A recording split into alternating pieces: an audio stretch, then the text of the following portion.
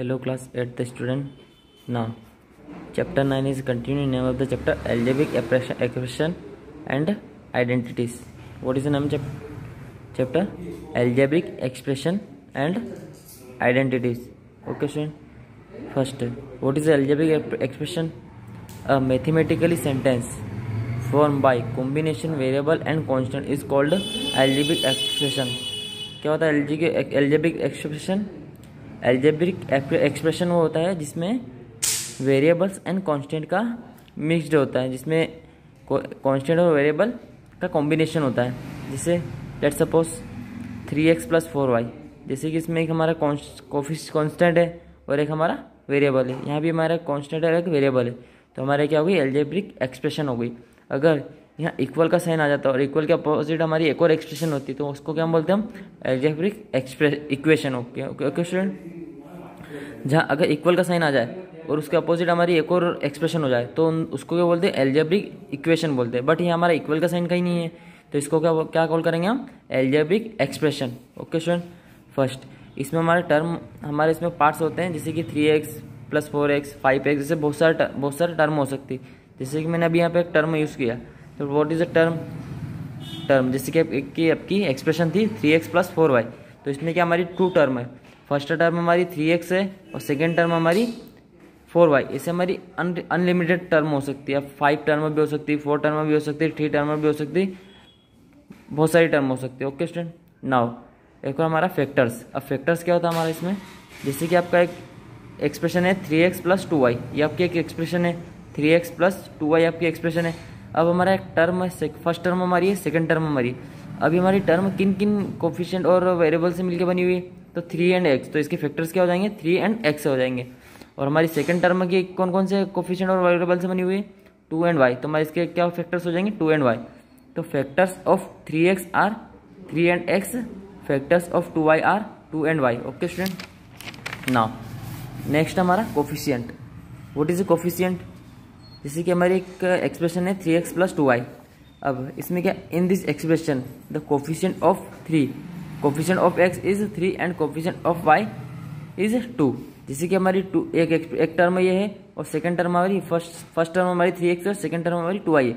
अब इसके हमारा हमारा जो न्यूमेरिकल पार्ट्स रहता है, जैसे कि थ्री और हमारे यहाँ कौन सा है? टू जो हमारे न्यूमेरिकल पार्ट्स रहता है वो क्या होता है? हमारा कोफिशियंट्स होता है. तो हमारा फ़र्स्ट टर्म का कोफिशियंट क्या है? थ्री है और सेकंड टर्म का कोफिशियंट है टू ओके स्टूडेंट तो आपके अब हमारे लेस्ट टाइम वन के से रिलेटेड क्वेश्चन देखेंगे हम। ओके स्टूडेंट आपका फ़र्स्ट क्वेश्चन है given give an example of the expression with two variables जैसे कि आपको टू टू वेरिएबल के साथ आपको एक्सप्रेशन की एग्ज़ाम्पल देना तो expression with two variables let suppose four x plus nine y हमारा फ़र्स्ट एक्सप्रेशन ये हो गया। अगर आप टू वेरिएबल अलग अलग भी ले सकते हो, या एक एक्सप्रेशन एक टर्म में आपका टू वेरिएबल भी हो सकता है सेवन एक्स एक्स वाई या आपका एग्ज़ाम्पल ये लिखो, या लिखो दोनों, एक ही है. Okay student now question number third write all the term of the expression जैसे कि मैंने आपको बताया था कि एक्सप्रेशन है. इसमें आपकी कितनी टर्म है?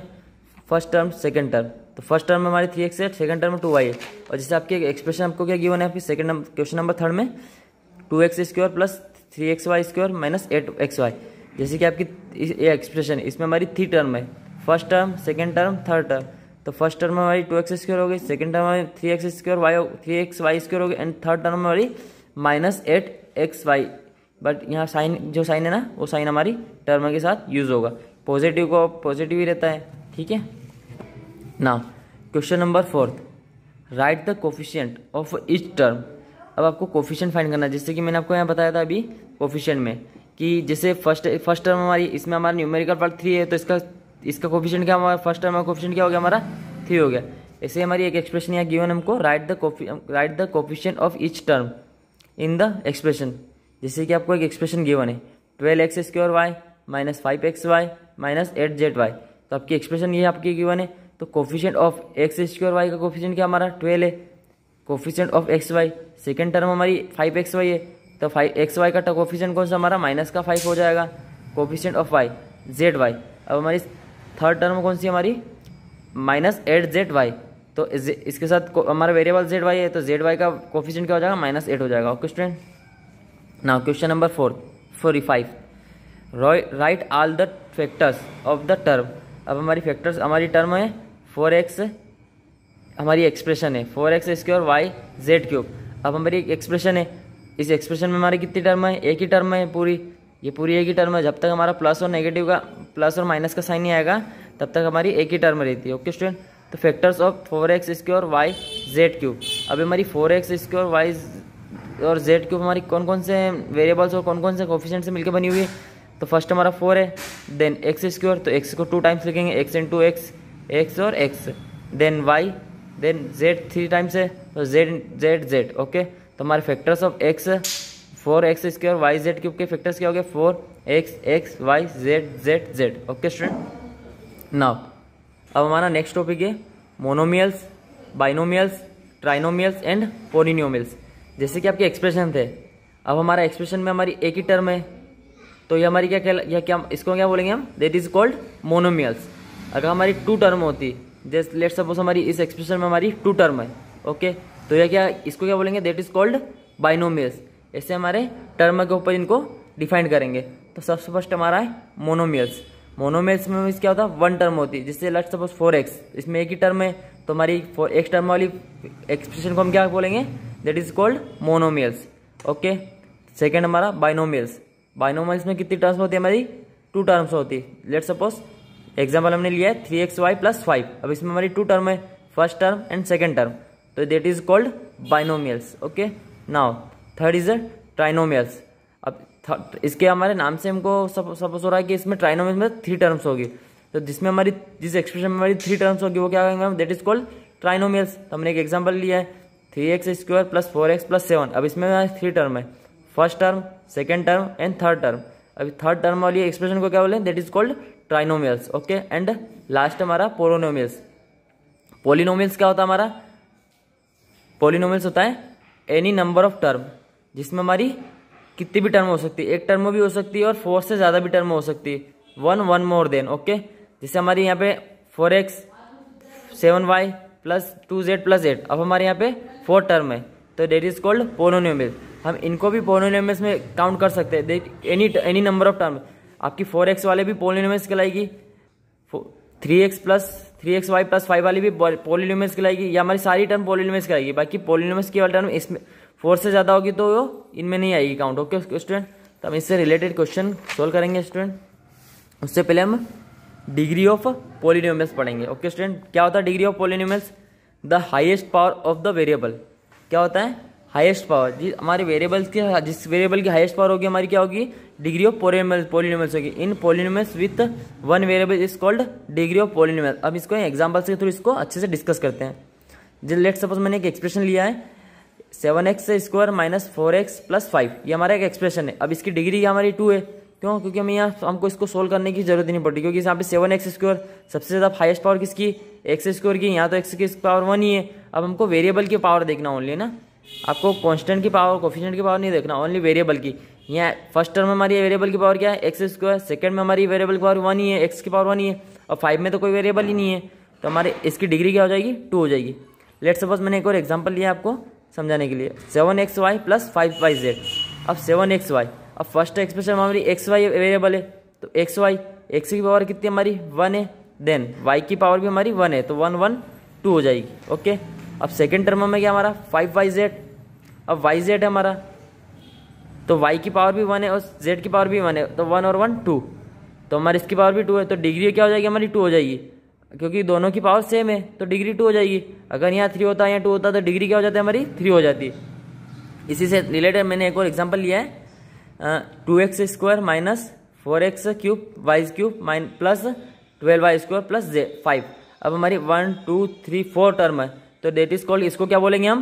पोलिनियोमेल्स और इस एक्सप्रेशन को क्या बोलेंगे हम? बाइनोमेल्स एंड इस एक्सप्रेशन को हम क्या बोलेंगे?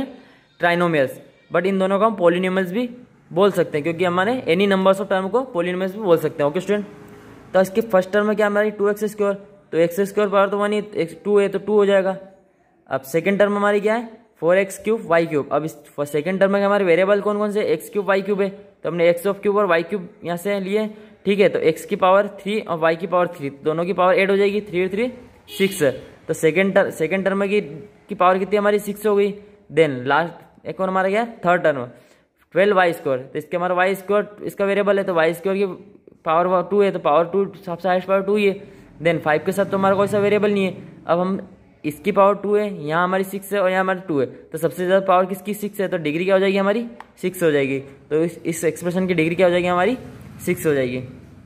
ओके आपके लेफ़्ट साइड वन का question number two give an example of an expression that is not पोलीमैन polynomial आपको ऐसा फाइंड करना है जो पोलिनोमल्स नहीं हो एक्सप्रेशन तो two x minus five minus की थ्री ओके हमने एक एक्सप्रेशन को लिया है। Now question number six classify the following as monomials binomials and trinomials अब आपको एक्सप्रेशन गिवन है। अब आपको बताना कि मोनोमियल से कि बाइनोमियल से कि ट्राइनोमियल से मैंने आपको एग्ज़ाम्पल में अच्छे से अच्छे से समझाया है यहाँ पे, कि जिसमें एक एक्सप्रेशन हो वो मोनोमियल्स होता है, जिसमें टू जिस जिस एक्सप्रेशन में वन टर्म हो वो हमारा मोनोमियल्स होता है, जिस एक्सप्रेशन में हमारी टू टर्म हो वो हमारा बाइनोमियल्स होता है, जिस एक्सप्रेशन में हमारी थ्री टर्म हो वो हमारा ट्राइनोमियल्स होता है और any number of term polynomials कहलाएगा। ओके स्टूडेंट तो आपका यहाँ पे कितना है? Two x y minus one y तो हमारी कौन, कितनी टर्म हमारी? टू टर्म है। तो दिस इज़ अ बाइनोमियल्स क्यों? Because in the expression are two term इसमें क्या हमारी? टू टर्म है। ओके स्टूडेंट ऐसे आपको टू टू एग्ज़ाम्पल हो रहे हैं। आप इनको सोल्व करता है। Now question number eight write the degree of the polynomials अब आपको मैंने आपके यहाँ बताया था डिग्री कैसे फाइंड करना है। ओके स्टूडेंट तो आपको यहाँ पे एक एक्सप्रेशन गिवन है। Two x square y minus three x y cube plus eight x y z अब आपको फ़र्स्ट टर्म में कौन सी हमारी? Two x y two x square y अब इसके साथ वेरिएबल कौन सा हमारा? एक्स स्क्योर वाई तो हमने एक्स स्क्योर वाई लिया। तो एक्स की पावर टू है और वाई की पावर वन है। टू और वन थ्री हो जाएगा। नाउ सेकेंड में हमारा एक्स माइनस का थ्री एक्स वाई क्यूब है। अब इसके पास हमारा वेरिएबल कौन सा है? एक्स और वाई क्यूब है। तो थ्री एक्स एक्स और वाई क्यूब एक्स की पावर वन है और वाई की पावर क्यूब है। तो वन और थ्री फोर हो जाएगा। इसी तरह हमारे एक्स वाई जेड की तो सबकी पावर वन है तो वन वन वन थ्री हो जाएगा। तो सबसे ज़्यादा पावर फोर है। तो in this expression degree of polynomials क्या हो जाएगा हमारा? फोर हो जाएगा। अब आपका आता है like term and unlike next topic आपका। Like term and unlike term अभी हमने टॉपिक डिस्कस किया था monomials binomials and trinomials and polynomials अब हमारा नेक्स्ट टॉपिक है लाइक एंड अनलाइक टर्म अब लाइक टर्म किसे कहते हैं? Like term are term whose variable are same अब ऐसे टर्म ऐसी टर्म जैसे कि एक्सप्रेशन में थ्री टर्म फोर टर्म ऐसी टर्म होती है। अब ऐसी टर्म जिसके वेरिएबल सेम हो, जैसे फ़र्स्ट टर्म और सेकेंड टर्म के वेरिएबल सेम है तो क्या कहलाएगी हमारी? लाइक टर्म कहलाएगी। लेट सपोज़ हमने एक एग्ज़ाम्पल लिया है five x square y and minus four y x square both are like term अब ये दोनों लाइक टर्म में क्यों है? क्योंकि इस इस इस टर्म में भी हमारा एक्स स्क्वायर है, इस टर्म में भी हमारा एक्स स्क्वायर है, इस टर्म में हमारे वाई है, इस टर्म में हमारे वाई है। दोनों सेम वेरिएबल है तो हमारी लाइक टर्म है because both are term variable are same जिस वेरिएबल जिस टर्म में हमारे वेरिएबल सेम रहेंगे, जिस टू या टू से ज़्यादा तो हमारे क्या कहलाएँगे? लाइक टर्म कहलाएगी। Okay student then. एक नोट है, इसको अच्छे से याद रखना। है like term can be add और सब्ट्रैक्ट लाइक टर्म को हम क्या कर सकते हैं? एड भी कर सकते हैं और सब्ट्रैक्ट भी कर सकते हैं। लेट सपोज़ मैंने मैंने, हमने एग्ज़ाम्पल लिया था, उसी उसी टर्म को हमने एक बार यहाँ पे ऐड करके बताया। तो five x square y plus minus का था हमारा four y x square then अब इन दोनों को एड प्लस माइनस माइनस हो जाएगा। तो five x square y minus four y x square तो फाइव एक्स स्क्योर वैसे फोर एक्स वाई हमारा क्या हो जाएगा? X square y but because हमारा पॉजिटिव रहेगा, क्योंकि हमारा बड़ा, बड़ी डिजिट हमारी पॉजिटिव है तो हमारी पॉजिटिव होगा तो हमारा एक्स स्क्योर वाई इसका आंसर हो जाएगा। ठीक है? Then unlike term unlike term क्या होता है? Unlike term are same opposite of the like term जिसका अपोजिट ऑफ़ लाइक टर्म मतलब इसमें वेरिएबल सेम नहीं होंगे टर्म के। तो अनलाइक टर्म क्या होगा? Unlike term are term whose variable are not same ऐसे टर्म जिसके वेरिएबल सेम नहीं होंगे, वो क्या होगा हमारा? अनलाइक टर्म होगा। Let suppose x seven x y square and three x y अब हमारे यहाँ वेरिएबल सेम नहीं है बिकॉज़ यहाँ हमारे वाई की पावर टू हमारी वाई की पावर वन ही है तो यहाँ वेरिएबल सेम नहीं है। तो क्या both are the unlike term because both term variable are not same क्योंकि दोनों दोनों टर्म के हमारे वेरिएबल सेम नहीं है। ओके स्टूडेंट अब लेट्स साइड वन से related question number seven identify the like term अब हमको आइडेंटिफाई करना है, जैसे आपको one two three four five five term में दिया है तो एक के साथ हमारी कौन सी टर्म है जो लाइक टर्म में हो रही है? तो उसको आइडेंटिफाई करना है। तो हमारी फ़र्स्ट टर्म में क्या? थ्री एक्स वाई अब हमारी इन टर्म में और कहीं एक्स वाई है क्या? यस yes, हमारा वाई एक्स है। आप एक्स वाई लिखो या वाई एक्स लिखो एक ही बात है क्योंकि दोनों का मल्टीप्लाई सेम होगा। तो तो a and c a and c are like term इसके अलावा और कौन सी लाइक टर्म हो रही है हमारी? हमारी बी बी में एक्स वाई स्क्योर हमको एक्स वाई स्क्योर कहीं दिख रहा है क्या? यस yes, हमारा ई e में दिख रहा है। Twenty one y square x okay y square y square इसमें भी एक्स एक्स इसमें भी है। तो b and e b and a are like term बाकी हमारी डी वाली क्या, हमारी अनलाइक टर्म हो जाएगी okay student now question number nine write another term which is like term of अब जैसे कि आपको एक एग्ज़ाम्पल एक एग्ज़ाम्पल एक टर्म दी गिवन है four x y cube z अब इसी से रिलेटेड आपको आपको एक लाइक टर्म इससे लिखना है। तो जिसमें तीनों वेरिएबल सेम होना चाहिए। तो three z x y y cube होगा स्टूडेंट ना? ये हमारा वाई क्यूब होगा। ओके ये हमारी लाइक टर्म होगी क्योंकि हमारे दोनों दोनों के वेरिएबल सेम है। ओके स्टूडेंट अब आपको एक और क्वेश्चन है question number ten write a term using any variable आपको एनी वेरिएबल से यूज़ आपको टर्म लिखना है देट इज़ अनलाइक जो अनलाइक हो, जैसे आपका फ़र्स्ट टर्म हमारी eight eighteen x y z okay अब इससे रिलेटेड हमको एक अनलाइक टर्म लिखना। अनलाइक टर्म मतलब जिसके वेरिएबल सेम नहीं होना चाहिए। But but at the same degree अब आपको डिग्री सेम करना है तो हमको मैंने जैसे पावर लगाई पावर नहीं आएगी, क्योंकि डिग्री डिग्री सेम होना चाहिए तो ए बी सी हो जाएगा। ओके तो क्या हो जाएगा student five a b c क्योंकि डिग्री तीनों की, दोनों की सेम होना चाहिए तो डिग्री दोनों की सेम है। तो okay student now question number eleven अब आपको वैल्यू फाइंड करना है ये एक्सप्रेशन है आपको एक्सप्रेशन में आपको एक्स वाई जेड की वैल्यू रख के आपको वेरे इसकी वैल्यू फाइंड करना है। तो आपको मैं इसकी वीडियो आपको फ़ोन कर दूँगा आपको स्टूडेंट सो स्टूडेंट आपका लेट सेवन कंप्लीट हो चुका है। अब आपका नेक्स्ट